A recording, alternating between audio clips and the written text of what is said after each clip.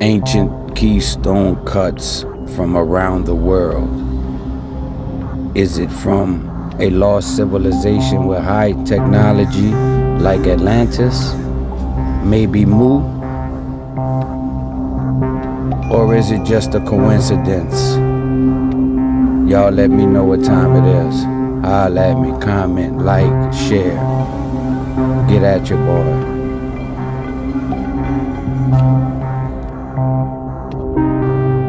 Thank you.